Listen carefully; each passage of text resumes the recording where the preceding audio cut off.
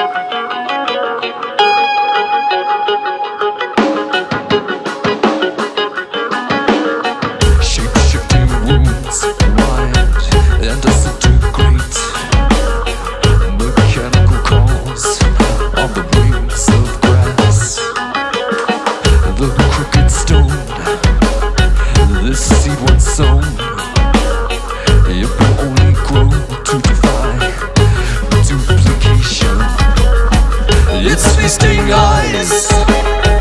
They feast upon the feast of inspiration.